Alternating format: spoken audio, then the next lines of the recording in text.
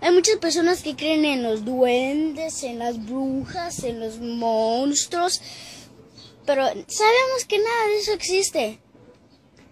Pero algunos de ustedes han visto un chupacabras. No, ¿verdad que no? No, no existe. Pero ¿qué crees? Dios sí existe.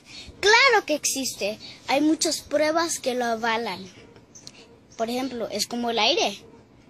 Lo sientes, lo respires, pero no lo puedes ver.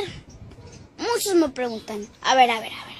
Si Dios existe, ¿por qué hay tantos niños en la calle? ¿Por qué hay tanto robo? ¿Por qué este mundo está de violencia?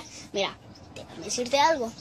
Dios está en todos lados. Pero ¿qué crees? Dios no se manifiesta en todos lados. Porque Dios solo se manifiesta donde se le habla, donde se le llama, donde se le clama, donde se le da oportunidad. Jeremías 33:3 dice, clama a mí y yo te responderé y te mostraré cosas ocultas que nunca habías aprendido. Dios es un caballero. Muchos exigen, es mi líder, déjame vivir como quiera. Claro, Dios es un caballero. Dios te va a dejar vivir como tú quieras, pero luego no le echen la culpa a Dios por las malas decisiones de los corazones corrompidos. Dios que tiene que ver. Muchos me dicen, a ver, a ver, te pongo este otro ejemplo.